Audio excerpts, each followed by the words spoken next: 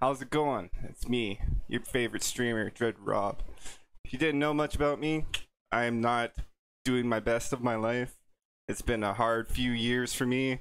I've lost my job three years ago and found out I can't work and like my body does not work and I got on disability a year ago, but for real, my doctor doesn't even know what's wrong with me and I don't even know what's wrong with me, but I get like the sensation that I got this choking and a bunch of other crap going on, but I just focus on this stream and it helps me get me through my day. And I make my highs out of all my lows and it gets all the inspiration for all the people that out there.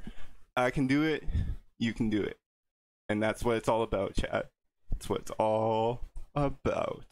Enjoy it all. While we can.